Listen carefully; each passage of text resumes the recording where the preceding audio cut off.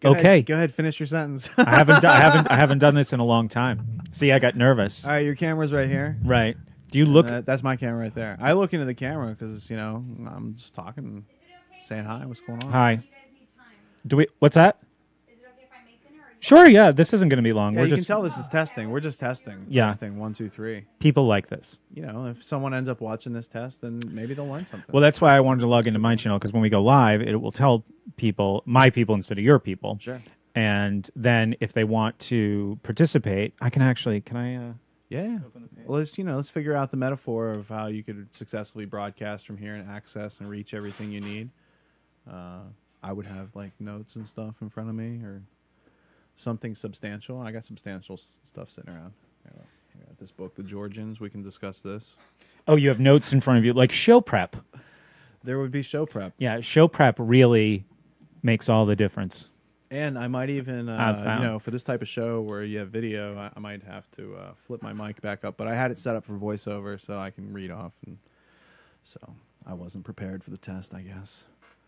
I'm just opening. Yeah, the and you would you would have the chat My over here and your interwebs access, and uh, in an ultimate scenario, I would not have the ca- the mic between me and the camera, but this is how it is today.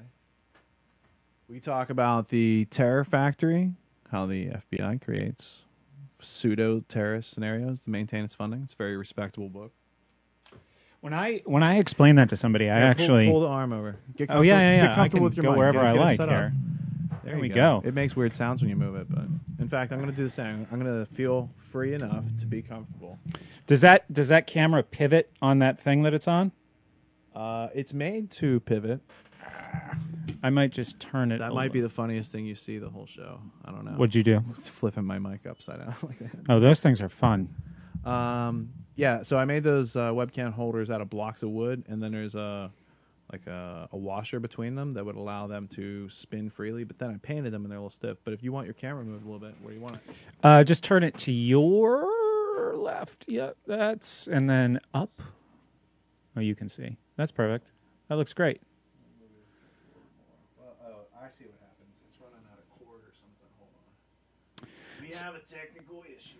See, so we're comparing notes on uh, UStream, and I never look at the cameras. I I let people be voyeurs. Well, I mean, you have a two-shot setup, so Yeah. it looks normal if we just have a conversation across like uh, like radio show style. We'd be talking like this, and the cameras would be off to the side. Right, But right. when you when you have a three shot up there, we're not really looking like it doesn't it doesn't look right. So I just end up talking to the audience because the people who watch stuff I do in this office are my friends. Yeah, yeah, right. Oh, yeah, that is a little more. You know, that's true because when I did the show by myself, I did look at the camera. Well, th- these was- are uh, these are things that you learn as you learn how to uh, what is how does Gatto refer to it? The active literacies. Mm-hmm. So you have to understand the situation. Is it going to make the un- the audience uncomfortable if you break down the fourth wall? That's what they call it in the the television and cinema world. That there's a because there's three walls on the set that you can see with the camera. The fourth wall is supposed to be an invisible wall, and we're supposed to act like the cameras aren't really there, and that's called acting. I'm not very good at acting. Right. I know the camera's there. Yeah. And sometimes you're supposed to deliver directly to the audience, and it makes a better connection. Now, if they're supposed to feel like they're in the audience and just observing, then we could look like this and we talk and we pretend they're not there and they you know but i like to think that people are participating and Sure. when i talk to people i usually you know look them in the eye. That's usually the protocol. Right. and so i'm saying hi. And I can just look at you at the mo- on the, the the great, monitor great thing right is we below. have choice and there's no real decorum. There's no emily post book that we could write you know read to see what the right thing to do in this situation. Now interestingly enough emily post uh, she lived in this town called tuxedo park uh, it was known as the end of the rainbow for those of you who are stanley kubrick fans and whatnot and at the end of the rainbow lived jp morgan and some astors and some really rich people colgate and uh, that's where Emily Post observed their behavior to tell the other Americans how to act like these people. Now, Tuxedo Park was not named after the famous evening wear. In fact, there was, uh, you know, top hat and tails. That was formal black tie attire. Except these characters in the Tuxedo Park Club cut their tails off, and so when people would see them, like in their black tie attire without the tails, they they said to this one dude, uh, you know, what is that? And he's like, oh, that's a man from Tuxedo. Well, the the guy thought he said that's a man in a tuxedo, and so that type of attire became known worldwide. And what does everyone rent for their wedding? Tuxedos. Tuxedos. I just I just rented one. Anglo American establishment. I'm just saying that it all plays into the. So you can learn about history, and you're just going to learn about everything around you anyway. So, or the, the, when I was editing the last episode, you had that Brooks Brothers shirt on, and I was like, "What is that logo?" So what did you what did you learn? Because I didn't I didn't get into that, and I, I I thought it was interesting. I saw the email. I just happened to have it over here because I had Skyped the links to somebody else that didn't know about it, and I was like, "Oh, you should figure out what that is." All right. Uh, first, let's see. I, can I cut it over to my? Yeah, yeah. Whatever you need to do. Sure. Do. I have desktop over here? Let's see. I got a desktop camera right there. It looks funny for a second. Yeah, pull my mic over. I've- I'm out of practice with this. Yeah, Tuxedo this is Park. there's a lot of variables. All right, Tuxedo Park. Here's a little evidence before we go for it. Arthur P. Kroll. No known association to the Kroll Security Company involved Right. with 9/11, but Right. uh, there he is, architect. Tuxedo Club, origins of the tuxedo. So that's interesting, but that's not really show material. Where I would go is something like this. Dun da da da. Come on, Firefox, fire. Oh, I don't know what this is, but it wasn't there yesterday when I last looked at this. See that? That's the Order of the Golden Fleece. Can you blow that picture up? Uh, Yeah. I try not to use phrases like that on the Skype. Right. Okay. So, right, so here's uh let's see. I can go back and find an English version, but it it comes from one of these dudes called Philip the Good. Uh, right? It's pretty crazy. All right, first off, uh, even in German, I can figure out that this this order was formed in 1430, so it's been going on a while. yeah. And if I were to type in, I thought I had another link over there, but it didn't. I would type in Brooks Brothers logo meaning, and then I would go here. I think this was the article I originally read. And when you go down, Right. It says established 1818, but they didn't adopt this logo. It says down here until. Oh, look, there it is. Brooks Brothers, new name and Golden Fleece logo. Uh, it was borrowed from the Order of the Golden Fleece, founded by Philip the Good, Duke of Burgundy and the Netherlands, in honor of his wife, Isabella. And it's like 50 elite people that were in this membership. And here he is with in this painting with the Brooks Brothers logo. Yeah. Wait, c- can I just see the painting again real Yeah. quick? Where? Oh, there it is, hanging down. Yeah. It's right there. And so if I click that link, it takes me to the page in German, but maybe is there s- How do you translate on the wiki? Oh, right here. Sprechen Sie English. The magic. Look at that. Now we can read in our native tongue. January 10th, 1430, Philip the Good. And and so then I, you know, it's like, why would this clothing company take that logo? But I don't think there's anything nefarious behind it. It's just interesting history. It's like, you know, here's this thing you see all around you. And then, you know, almost, uh, I think the number is like, I don't know, 38 out of whatever 42 presidents we've had have worn Brooks Brothers clothing. Well, So this is like the yeah. official outfitters of, uh, of the people we call the ruling elite. Sure. Well, this was two pane shot. There we go. this was the uh, big swath Brad. of just me talking that I cut out of the last show, the sh- the show we just did, where I was talking about this experience of, uh, you know, how how quickly could somebody become overwhelmed if they, uh, you know, tried to contemplate the history of everything they passed on a trip from you know their house to the supermarket, uh, every audio body shop, That'd be, every a, that'd be a long trip. You can Dry only, you have to try to just pick up a couple things every day, Right, right. Kind of you know process them. It's like, hey, what's the origin of the fire department? What's the origin of the police station? What's the origin of the hospitals? If you go into the question about the hospitals, you might, if you know how to look for things, you can go back to the Knights Hospitalers, which were the first uh, how homosocial order, a men's only club, Mm-hmm. Freemasonry, the Knights Templars, the Knights Hospitallers are also a lesser known group, equally powerful in their magnitude through history. So, and there's then you can just you can get ten books on the Knights Hospitallers, and then you'll have a sense of uh, this this uh, philanthropic position of power that they've assumed. Like one face, it's like, no, we help people. It's like, no, you build those places because you know you'll get business Right. or control or intelligence. So you know, history. It's pretty cool. Well, there's a few irons in the fire right now, and I'm I'm in Connecticut. We are We're we're right here. We this are is together. juice. There's no, mm, yeah, just tomato juice. we are. Uh, uh, you showed me something really interesting last night, which was this OSS psychological profile of his, uh, Hitler, which I think would make a nice addendum to a Nazi series that I did a little over a year ago. Um, I want to read through it, and maybe you know I'll offer it to people, uh, you know, in its PDF form if they want to go through it themselves. But maybe find I half an hour. I officially have very Yeah. little interest in Hitler. Like I could care less. Like he, you know, people say he's evil and all this stuff, but when you start digging into the history and you're like, wow, like Hitler was really evil, no question about it. He's a bad guy. Yeah, But there was these other people that were in this country and in Britain. They were basically putting them up to all of it, funding them, providing the the metal and the armaments, and helping those companies become international conglomerates. The Dulles brothers, especially working on behalf of the Rockefellers and Standard Oil, helped German companies, Nazi companies, become international conglomerates, so that no matter who won the war, those companies could survive.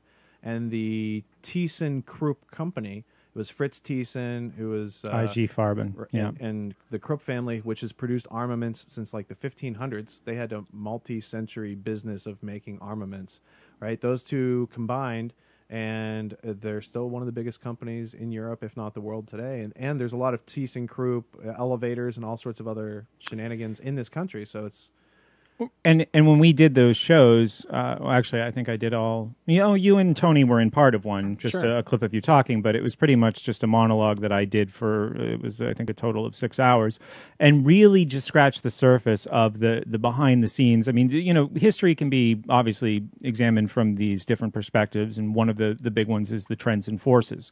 So, really comparing what was going on in Germany to you know what is happening in the United States today was more of a trends and forces approach, where it didn't matter who was really pulling the strings behind the background because the people were sitting ducks for whoever it was for you know a variety of reasons.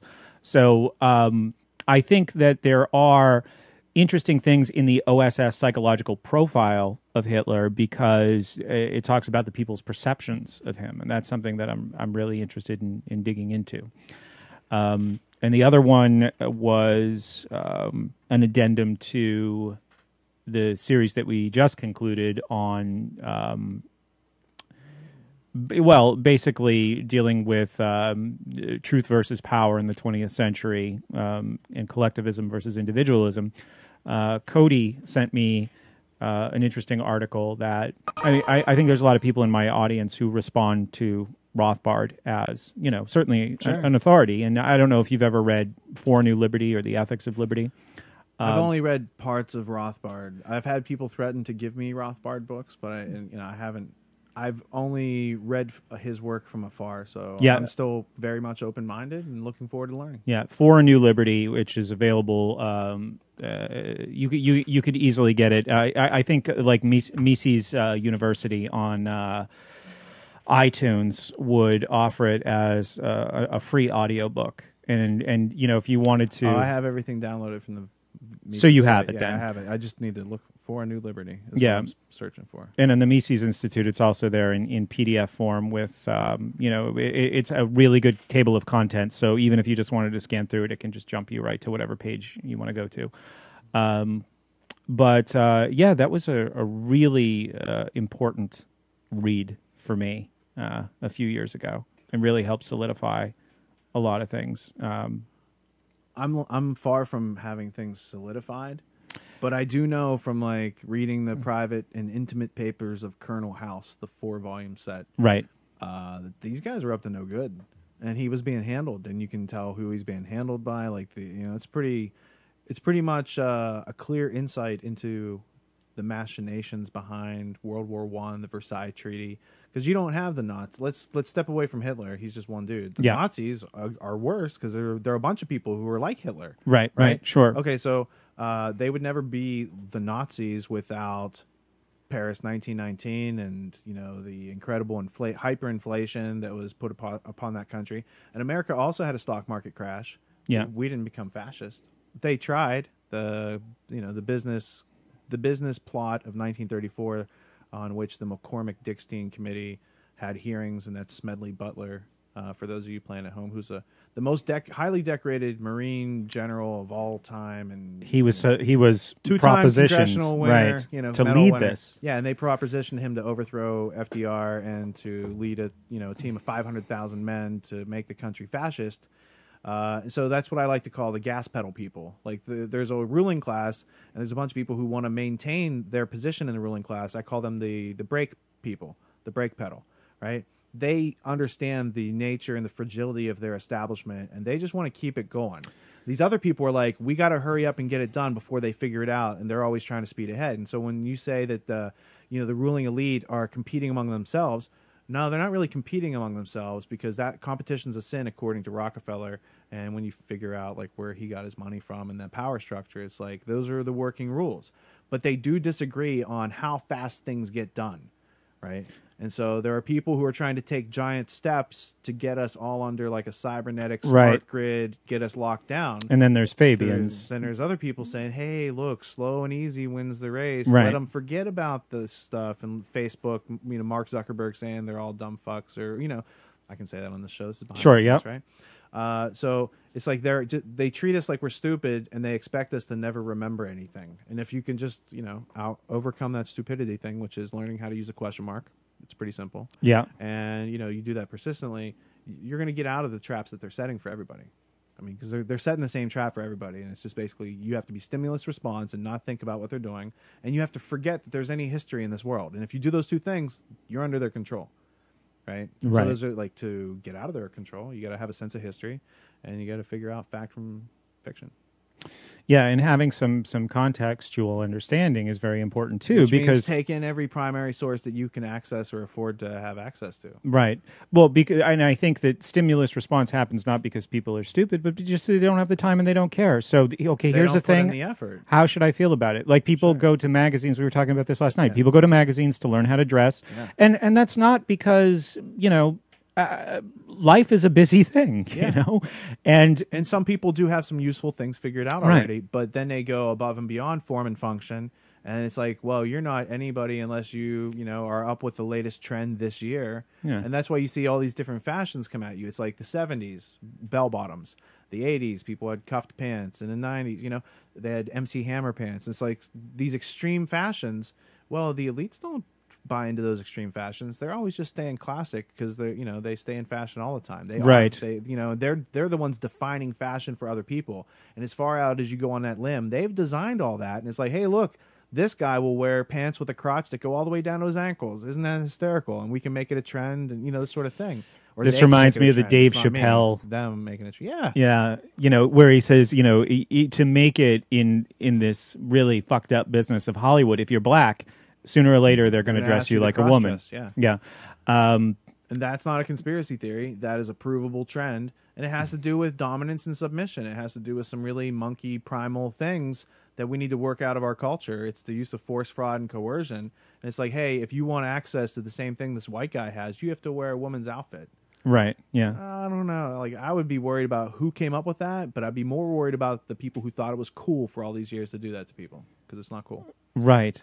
Unless they want to do it of their own volition but the people that i've heard from have not wanted to participate Yeah, I, I think uh, you know Dave Chappelle and Martin Lawrence. I was going to say Martin Lawrence went Yeah. running down the highway in his underwear, telling people what was up. They're trying to kill me. Yeah, yeah. and Um, Randy Quaid, Randy Quaid. I don't know that. uh, Dennis Quaid's brother, lesser known brother, Randy Quaid, famous Sure. from Christmas Vacation. All all of those films. he's, yeah. wearing, he's wearing the dicky. Shitter's full. That's my favorite quote. Uh, he had to flee America and he went to Canada because he and his wife were being taken advantage of by their Hollywood lawyer, who's a well-known gangster out there, and was basically creating false insurance accounts and buying properties in his name. And then he found out that they had done it to other celebrities, celebrities who ended up dead, and they were taking the insurance money from these dead celebrities. And he named names, and then they basically tried to do crazy shit to him. So he went to Canada. He held a press conference. Paul Verge said, "Hey, did you hear about Randy Quaid? I'm going to go interview him." I say, I would stay the fuck away from that whole situation. Like that is incendiary, and I don't see how anyone could possibly benefit right now. Like we're inexperienced, like people just learning what's going on. Yeah, yeah. And to put yourself like obviously for him to leave his situation and for his brother to basically be like whatever, I'm going to continue working with these people. Yeah. Like there are serious things that like you know don't play with stuff until you figure out how it works. Yeah. That's dangerous. I really, uh, I'd like to understand better what happened, what really happened with Hollywood in the 1950s when pressure was coming from the government, from HUAC, and it seemed like most people, um, uh, you know, pr- people who were either financiers or, or high level producers or studio execs, they said, yeah, we'll play along. We'll, we'll, you know, as soon as there was a little bit of pressure applied, not saying that it, originated from you know the House Un-American Activities Committee, but they said, yeah, we'll you know we'll be a PR arm of you know whatever you're trying to do uh, over the course of the next decade, and um, you know, ten people famously opposed that and Sure. were blacklisted. And um, you know eh, that seems also from from what I gathered. I mean, I I didn't really devote too much time to that in the series, but I looked into it because I mean every you know every minute of talking in those shows, you see there's all these avenues that you can pursue. And I was saying, well, is this really was this a significant turning point? Like, obviously, it didn't originate there because people understood what Hollywood was and the power that it had well before that. I think America understood the power that Germany also had in its cinema and Russia had in its cinema. And there was competition going on. And during the couple of world wars, one of those markets, or two of those markets, got completely wiped out. Have you ever seen? Yeah, have you ever seen Potemkin? uh, Battleship Potemkin, yeah. Yeah. Uh, who's the filmmaker? Do you remember his name? I'm ashamed right now. Somebody that I can- don't. I do. I mean, I. Um, Hey, if you're in our chat, you can, which a few people are, you could look up Battleship Potemkin and tell me the filmmaker. It's a Russian propaganda film from the 1920s. Um, the other one is the German Expressionist movement, uh, movement with people like Fritz Lang. yeah, yeah. Um, Fritz Lang made Metropolis, which if you've never seen, I didn't really have any interest in checking out those movies Yeah. throughout my whole life. Right. I, I knew they existed. I was like, whatever, old movies. But then I started getting into history and Metropolis, learning about this stuff, yeah, and I was like, wow, Fritz Lang is laying out some occult symbolism in that movie and just showing the difference between the top dwellers and the bottom dwellers. Yeah. And arguably, I can't remember if uh, did H.G. Wells write the Time Machine prior to that because he had the Morlocks and the Eloi, the people that live underground and prey on the people on the top, and it was you know Right. same, a similar metaphor being expressed. But it was uh, it's a powerful movie. I think um, uh, there's another. I think it was Fritz Lang too. It was. It was definitely German. Um, was was it? It was called German Expressionism. Um, versus not to be confused with German idealism, um, and it was called um, the Cabinet of Doctor Caligari, which Oh, is yeah, even more I've fucked than Oh, that, the other movie. a lot of times when I watch stuff, it's not because I enjoy it. It's because like, well, you got to figure out what what's being told in the past, what people were under the influence of, and it's more like a sociological or anthropological study. Right. So I mean, uh, both both Russia and Germany had major. mm, I I think you could say that cinema really took off there in a big way, um, but prior to uh, in the United States, because I, I don't think there was, from what I remember from from you know knowing some cinema history, there wasn't a, a tremendous amount of interest in American cinema prior to the Jazz Singer in um, 1927 when Al those Jolson. uh, yeah, which was the first mo- talking movie, um, and uh, there there were obviously some some interesting cinematic feats like the work of uh, D.W. Griffith. Prior to that, Birth of a Nation. Birth of a Nation, and the other one um, what was the other the other movie that he made. I want to say Sunrise, but that's something totally different. He had he had another sort of epic like that. We have an intruder in the studio. I didn't realize I was going in front of the Yeah, go in front of the camera. Go ahead. I just have to look at her. Go in. Look oh, at, Eisenstein. Yeah, Eisenstein. Ser- Sergei was the, Eisenstein. uh, I pulled it up. yeah. I should have pulled it up on this computer so you could see it on the desktop, but I'm not taking this pre-show testing very seriously. No, this is this is fantastic. Uh, if, if people have any questions uh, as people are coming into our chat, uh, put them in there, and I'll be able to look at them in just a second. So, um, are you all set? Yeah, I just needed okay. to see if it was covered or uncovered. Isn't it like 25, 30 minutes? Sure. oh, I forgot uh, to mention the Odessa Steps sequence from Battleship Potemkin Mhm. uh, was reenacted in not Goodfellas, The Untouchables. Untouchables. I learned about that in film class in high school, I think, Right. and then I hadn't seen either of those movies at that time. But as you get older, you're like, oh, now you see that movie, you're like, oh, I see what they're doing here, Yeah. drawing in your attention, slowing things down. Oh, all right. I, it, it was really uh, well done in The Untouchables, which I don't think is a fantastic movie, but No, but there's some there's some interesting interesting things in there. stuff in there. I also recommend Miller's Crossing if you like a good old style gangster movie. Coen Brothers. made Yep. in the nineties. Yeah. Miller's Crossing, I think, was made in the. Yeah, yeah, Was it- it 80s, probably- I 90s, thought yeah. Was like early nineties. I thought it was one of the Coen brothers' first movies, but I think it, it pretty pretty much was. It's uh. someone said, "I just got here. Who is this person? Who who is this person?" I know you got no lower thirds on your show, fool. I know. Well, usually that's sufficient because everybody knows who wait, everybody wait, I might have some lower thirds over here. Hold on. and I make uh, I make graphics if I have a guest. All right, let me just check because that's a good point. Let me, I got a, I got one for Brett here. Dun, dun. Now I'm releasing all my secrets. Oh, it's in the lower thirds. I hate it how it censors links. I gotta fix that. Brett Veinotte, lower third, coming up. Let's see if this. Brett works. looks Hold like on. he's working out in of the basement of the FBI, like Agent Mulder. Welcome to the Z files. You missed the Y files. It went straight to DVD. Uh, Brett's lower third. I could put. Oh, I gotta put it on a layer below that. So if you if you are just joining us, we're we're basically just testing. Um, we turned stuff on. They called you. yeah, we're going to we're going to do uh, a show tomorrow night, and uh, I think we we'd both admit that we're maybe a little out of practice with this. Uh, I haven't done a live show since July 9th. I do my show downstairs. I'm well in practice in the studio. I just never use the office. but stuff. you use UStream, no, we tape. We we pre-film it, right? Yeah. and then I. Not that UStream is any kind of a All right, feat, but I got it a can. lower third working, but I'd have to turn off this upper third so you can see it. And then it says Brett Veinotte, host of the School Sucks podcast. See that? But I'm Oh. not set oh. up for the split screen, or I'm not set up for this. Oh, that looks good though. That looks really good. And then I can bring my lower third in here. I got one somewhere. RG. Lower third. Podcast. UHL. There we go.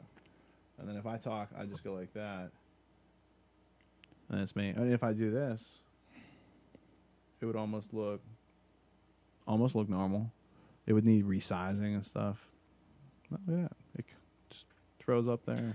Now it's on some annoying loop, so I'm gonna remove it. These are the things you can do. There we go. So those are just MP4s. Yeah. Uh, you render them with an alpha channel, and that's how they have the transparency. I had to do my grammar, logic, and rhetoric to get here. You see how that works? Look, everyone, Brett's Yes. amazed. I am. I, I, I'm, I'm very impressed. I'm, I've, I've been here for a little more than 24 hours, and this is a very impressive operation. It's not meant to impress anybody, but I'm glad you're I impressed. know it. It certainly does. What you can't see is we got there's books, there's facts around here. These are all pieces of evidence as far as I'm concerned. And Yeah. A big crime. So, can you explain the the organization of like what's behind you there, or the method to? Mm, all right. Yeah, My bottom shelf. Uh, we could probably turn it like this. sure. Bottom shelf are my grammar books. So These are dictionaries and you know books that you would use as tools to work up. Uh, this is logic. These are individual component evidence pieces. Uh, you know books that are published on you know component aspects, and then the top shelf and the stuff that's stacked on top of the shelf. Those are like full on uh, results of their grammar and logic being put into action. hmm So that was the way it was originally organized. This uh, right here on screen, these are all Council on Foreign Relations monthly publications called Foreign Affairs, and I have some that go back into like the 40s and 50s, and that was one of the ones that I used in the last episode Right. from yeah. 19, 1998, where they're telling you. They were saying that you know catastrophic terrorism is a real possibility in America, and that they might need to you know fight people with weapons of mass destruction named Osama bin Laden, who might attack the World Trade Centers, and it was you know, it's right there in writing, and they sell it on. Uh, when I was in whatever store, Kindle store, or whatever, that is one of the two books that I have on my used iPad hmm is uh, the Foreign Affairs Journal from 1998, where they wrote these two articles talking about Osama bin Laden as enemy number one, bad guy number one, and this this thing that could happen with catastrophic terrorism, talking about Pearl Harbor, World Trade Centers. Do you want to see? The, you, You know, we- we- no, we want can- a closer look. we compared notes because I had a couple from 1999 and 2000 um, that were you know pushing pushing those same stories. Uh, somebody says Richard has really nice graphics, production values. Looks like he uses a professional. You want to respond to that? I think they might have just come in after Yeah, I don't have a. I don't have a professional anything. Uh, I was just showing uh, Brett, Brett, uh, how to make the like the spinning globe in the background and how it was made at different layers, and I was showing them After Effects and uh, the graphics that I have for the history show. I bought a template from Video Hive or one of these places that sells After Effects template. I'd be happy to provide the link. And then I changed the uh, the content myself because you Mhm. learn, you know, I use the trivium method. So when I find something I don't know how to do, I go through the the basic parts of it and figure out how it interacts. And I was able to change the templates. And I don't. I have a graphics guy that I worked with for years, who's an American, who's been scraping along, living in Italy, and he's got a wife over there. And uh, but he's been like MIA for the past I don't know a long time since he made graphics. He made the last thing he made was the history logo, and that was it. Everything from then, I've kind of kind of bastardized some of the graphics he made and amended them and made some new ones. But I appreciate that uh, note is taken that I've been doing a little work trying to improve. Yeah, yeah. I just and I just wanted you to definitely speak to that. So because it's it's uh and, you know not to obviously knock the person who said it, but I think Uh. it's an astute observer. yeah, oh yeah, absolutely. it does look like you might use a professional, um, but If I used a professional, I'd have a lot more graphics. I'd say. right, Yeah, because basically what I do for the history show is repurp like uh, it's the it's the same info screen. I was showing Brett how how I made all the different pieces and whatnot. So it's like there are lower thirds. There's uh, insets that would take like half the screen and would have info over here. You know, it's the same sort of thing that you see on the news at night. They just make packages because there's a bunch of different companies around the world that have to do those sort of things that don't have in-house talent. I'm one of those groups that don't have in-house. I don't have in-house anything. I can learn how to do it myself. So uh, people will give you a start with a template. You do a little learning on your own, and it can look like a lot more expensive operation than what you have. Which, and this process for you started 10, 11 years ago. well, realizing that things were not how I was taught in school, yeah, definitely. yeah. Learning how to make media, uh, that was a slow process. Like I didn't really catch on to how much I had to learn Yeah. in order to get. So I've done more learning about how to do production in the past year than I have in the past seven years of production. So it's like I've put, I've taught myself cinematography and lighting, and you know presentation styles and all the different areas. If you had a crew, you'd have people doing sound in all these different areas. I just basically learned how to do all those things myself, and then I break down the production so I can layer it such that I can do it. I can be the talent behind the desk. I can be the editor upstairs. I have a fight with myself all the time from down there and up here because like I'll screw something up. I'm like, oh, I'm just screwing the editor upstairs. Screw him, you know. Yeah, yeah. And then I come upstairs. I'm like, motherfucker, like, why? why did you do that? Like, why didn't you just go back and repeat this or whatever? Uh, so yeah, it's it's like juggling chainsaws. Well, yeah, I, I think that when when we get into doing this, and obviously, you know, we're we're at different stages with what we're doing. Um, but uh, first, you kind of see the you know the spectrum of everything that needs to be done, like all the channels through which you need to communicate. It's overwhelming. and then you start to see the depth, right? So a couple years ago, I said, More overwhelming. yeah, the, well, right. It can be. It can be. Um, but uh, you know, there's tools. Yeah. And- And, one day at a time, and you learn a little bit each day. Like I didn't learn After Effects and Premiere. Like I didn't learn the graphic editing, video editing, graphic creation. Yeah. I didn't learn any of that stuff in one day, and I didn't learn them all at the same time. It's like I put off learning After Effects for a long time until I was a competent editor. I put off video editing for a long time until I was a competent audio editor of my podcast. Sure. And so it's a it's a natural progression. So even though it's like you might look at the top of the mountain where you want to go, and it's like, oh, that's so far off. Then look down. It's like, oh, but I can take a step, and if I take a step, then I can figure out how to take another step. And you have to persist despite. I say it's persistence despite resi- uh, resistance. Yeah. Persist despite the resistance, and that's the key to success. It's like uh, maybe I was too naive to quit a lot of times. Well, it sounds like it sounds like you're very patient too, because you know whenever I accomplish something like a small feat, like when I, I I said, okay, I'm a podcaster, or I have these ideas I want to communicate. Okay, what's the media through which I can communicate it? So you have the podcast, Sure. fine. You have a website, you have video, right? So as soon as I okay, so then I said, okay, one thing is video. Now this is just the very basic wedding, uh, dipping my toes kind of process here. So it's okay, how do I make a video? and you know I figured it out how to do it in a pretty basic way. It's and I to make a high fived myself and I said I made a video, so I put it out. Right now, I know uh, from I mean I have a degree in communications. Not that it's worth much today, but I I know the layers of video production, Right. and I'm um, you know observant enough to watch television and watch something on YouTube and be able to see the quality difference. Oh, sure. You know, and, and the amount of knowledge that has to go into, yeah, ironically, the mainstream cable Yeah. production versus you know a really maybe educational and insightful YouTube video that has low production value. Well, it's So easy I- enough to make a video because you just press record on any one of your devices these days, and anyone can make a video. Sure. The key is how to make a video that holds people's attention, that uh, not obeys certain rules, but doesn't violate certain rules of communication. And so it comes back to uh, planning and forethought and consideration. There's a lot of thought that goes into it.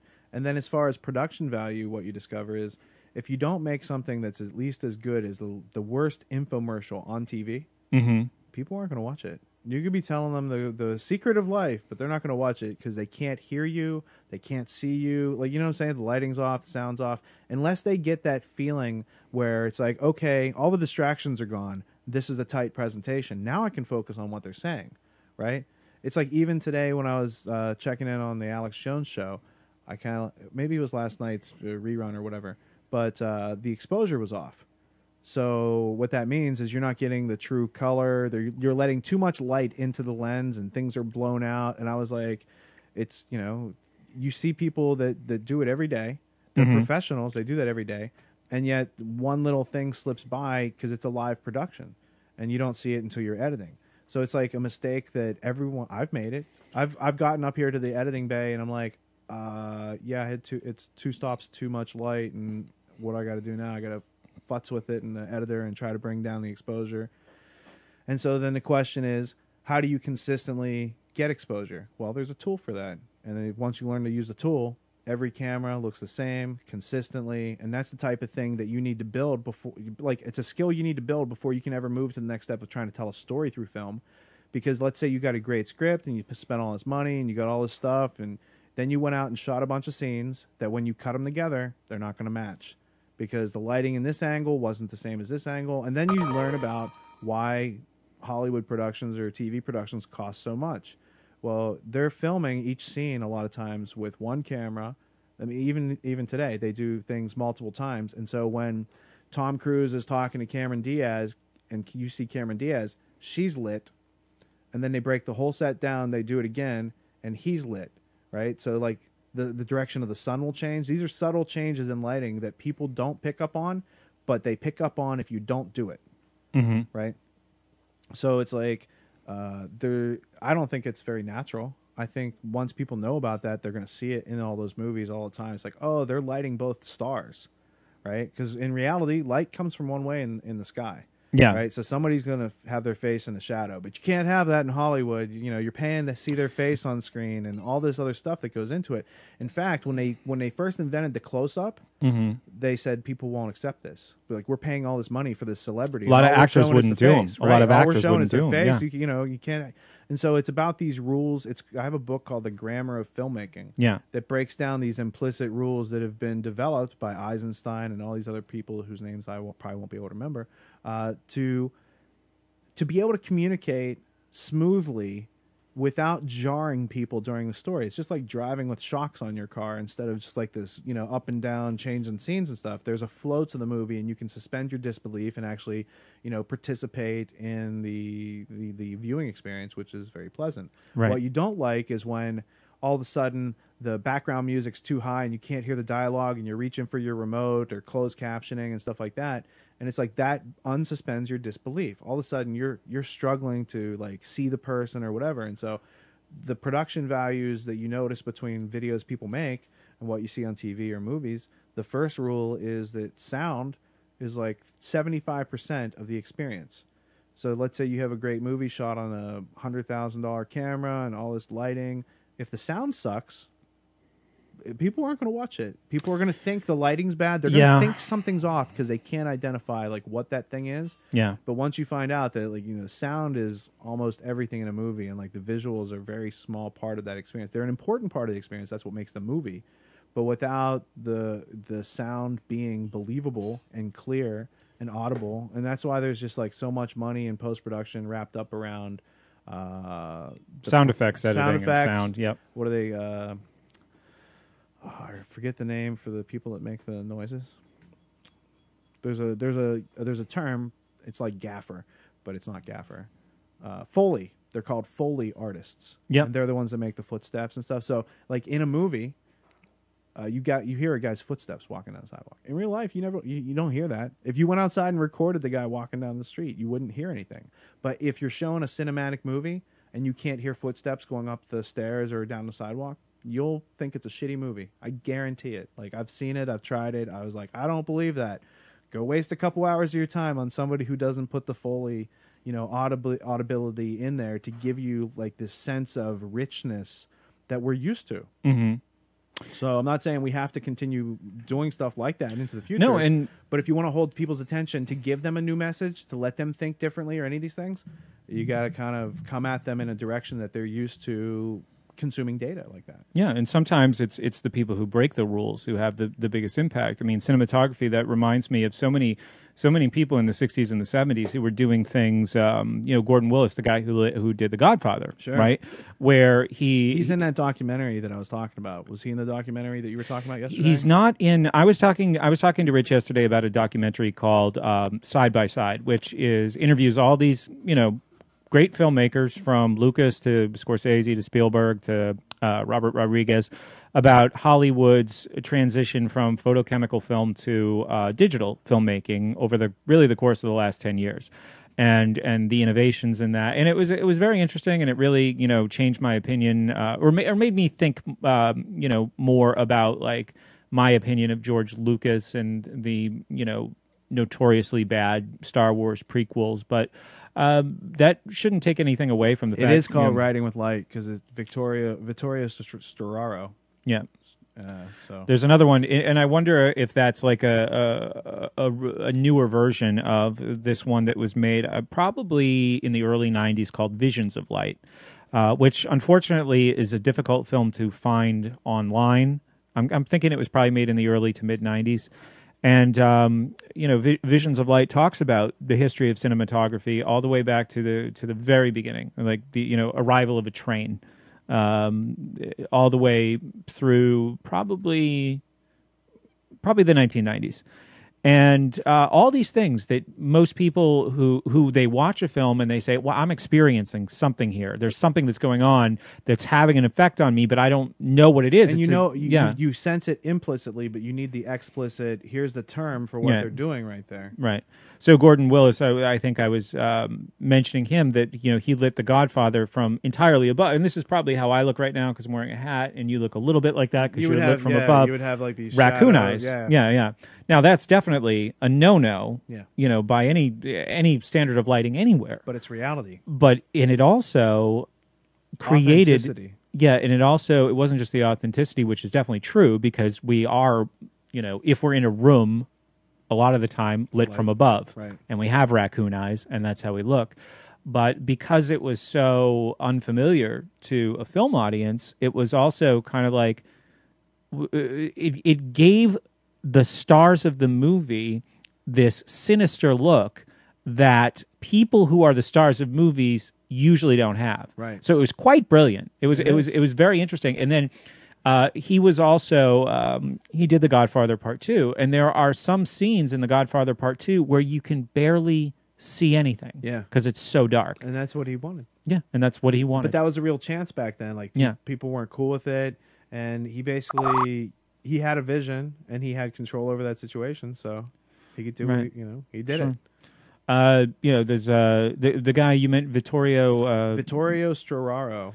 Uh, he's a famous cinematographer. He's one of the. He's like the world's top cinematographer, yeah, and uh, I believe he did. Um, he, I think he might have done a couple of Terrence Malick's movies. Um, I think he did Days of Heaven, which was like this really hard to watch, but very story wise, but very beautiful uh, movie that Terrence Malick made with Richard Gere.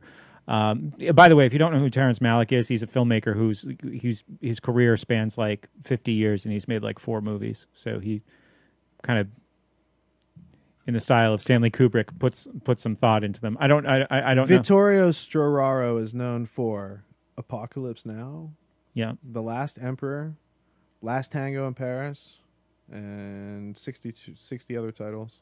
Dune. Days of Heaven. Oh, he did the miniseries. So Day, Days of Heaven. Let me look. He did Little Buddha. Little Buddha didn't like it. Uh, let's see, bunch of bunch of films in the Italian language. And his first film was Attack of the Normans, How far back are we going? 1962, I think. He's definitely interviewed in this other film, Visions of Light. Um, one of my favorite movies is uh, Raging Bull. Have you seen that?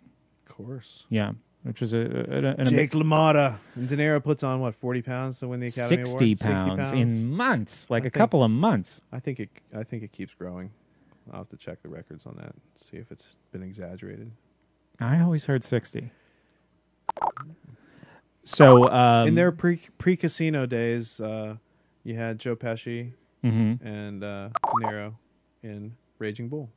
Yeah, Right. That was Right. Joe, that was Joey the Fish. Joe Pesci. Joey the Fish. Joey the that's what Pesci means. Joey the Fish. Ah, yeah, Joe that's Fish. right. Yeah, That's right. Joe Fish. um, but they are actually uh, they are changing speeds that they are moving the film through the camera during the boxing scenes to create this this disorientation that really when I first saw the movie because I think I saw Casino that was the first one I saw so we're going back to my senior year in high school I said this is a really cool movie and I had just learned that you well who makes a movie and you know that's important you know you know go ahead No, I was listening.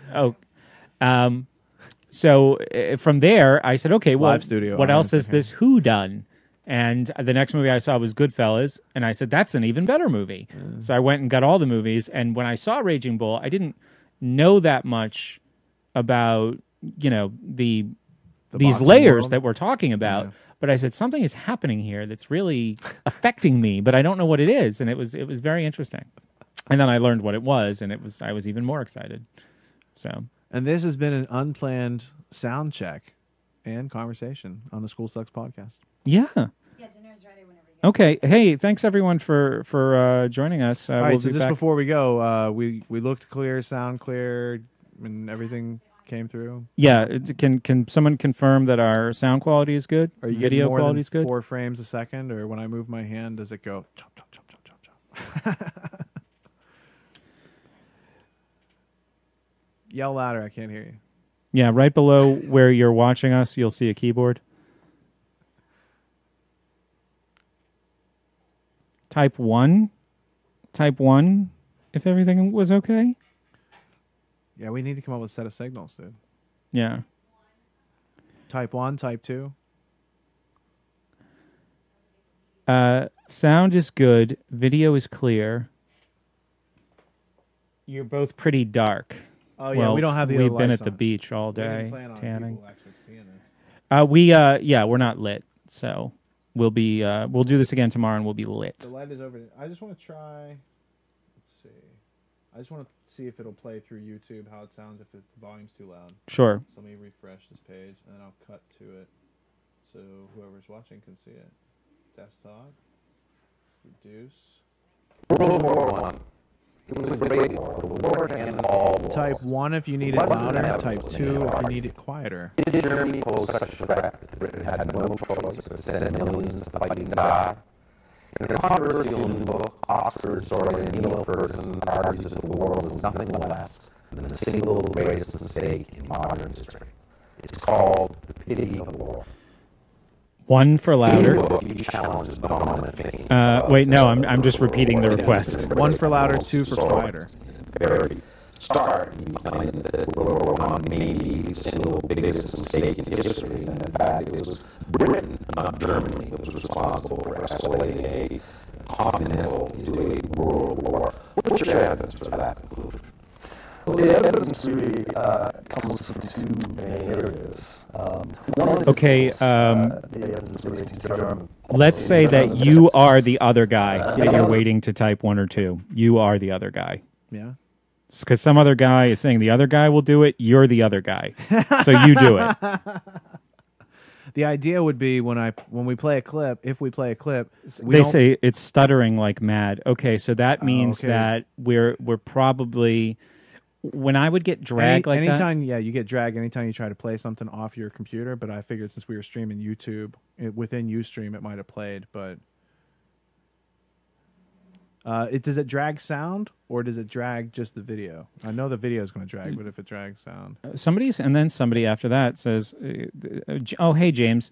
Um, it might be um, it, it might also be your uh, connection or the machine that you're trying to watch us on. Did any very so some somebody else confirms that it's very cho- is it still choppy because i'm getting a one oh that was for too loud One of the most important points I'm trying to make in, in the Pity of War is that uh, there is a necessary connection between the German decision to risk a war on the continent, uh, which may be interesting against Russia when you look at the fleets, and bridges into intervene. Um, but that decision right. is all right. Living room or in the kitchen? Uh, living room's fine. All right, that's a conclusion of this sound check. thanks everybody We'll talk to you soon. can you just uh